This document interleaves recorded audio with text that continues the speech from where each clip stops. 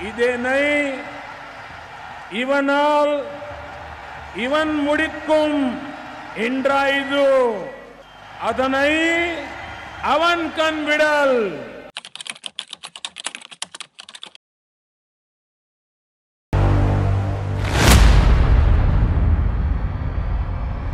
August ஐந்து இரண்டாயிரத்தி இருபது இந்தியாவுக்கு ஒரு முக்கியமான தேதி. மாண்புமிகு உச்சநீதிமன்ற தீர்ப்பிற்கு பிறகு அயோத்தியில் உள்ள ராமஜென்ம பூமி கோயிலில் பிரதமர் திரு நரேந்திர மோடி அடிக்கல் நாட்டினார். அங்கு நடந்த அடிக்கல் நாட்டு விழா நிகழ்ச்சியில் அவர் ஆற்றிய உரையில் கம்ப ராமாயணத்தில் இருந்து ஒரு வசனத்தை மேற்கோள் காட்டினார். காலம் தாழ் ஈண்டு இனம் இருத்தி போலான்.